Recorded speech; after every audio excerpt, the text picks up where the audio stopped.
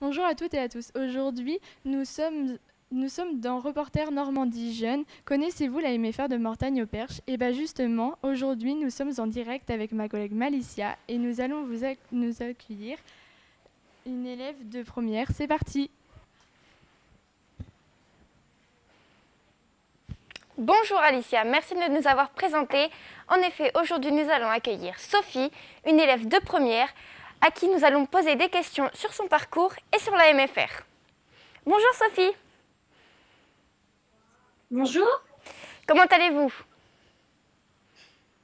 Ça va. Alors quel âge avez-vous? Donc j'ai 17 ans. D'accord. Et vous, vous pensez quoi de la MFR de Morsagne-au-Perche? Euh, c'est un établissement qui est sympathique, familial, où on peut apprendre tout en étant dans une bonne ambiance, dans une bonne atmosphère de travail. Donc, euh, c'est génial. D'accord. Et l'alternance, euh, ça vous, ça vous fait quoi d'être en alternance tout au long de l'année?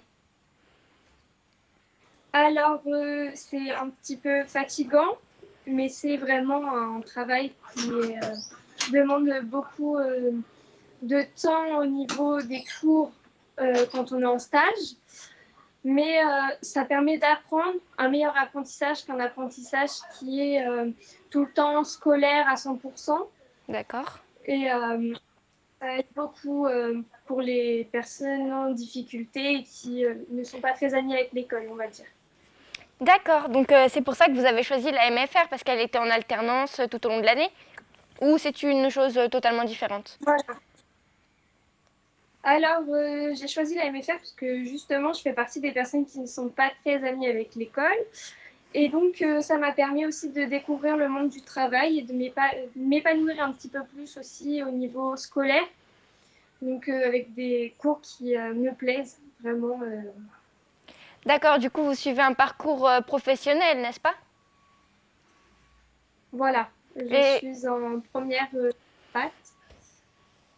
D'accord. Et euh, quel métier voulez-vous faire plus tard, vous, comme, euh, comme métier professionnel? Alors, je souhaiterais devenir infirmière. D'accord. Il y a plusieurs types de, comment dire, de parcours, pardon. Alors oui, effectivement, il y a plusieurs types de parcours. On peut passer euh, par une alternance encore euh, avec une école bien spéciale, ou alors on peut aller euh, dans un IFSI qui se fait soit par concours ou par parcours D'accord. Et vous étiez interne tout au long de la MFR Alors l'année dernière, pour commencer, j'ai été interne et puis je suis devenue demi-pensionnaire. D'accord. Vous en pensez quoi de l'internat euh, quand vous y étiez? Alors l'internat, c'est vraiment euh, une expérience à faire. Euh, ça reste convivial, mais c'est sûr que ça change des habitudes de vie qu'on peut avoir chez nous.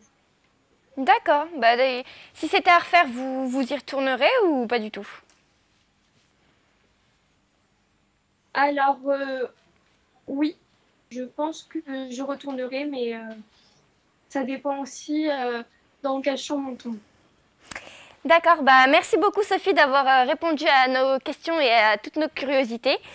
Et puis bah nous sommes sur Reportage Normandie Jeune. Au revoir.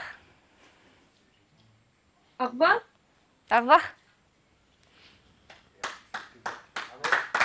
Merci.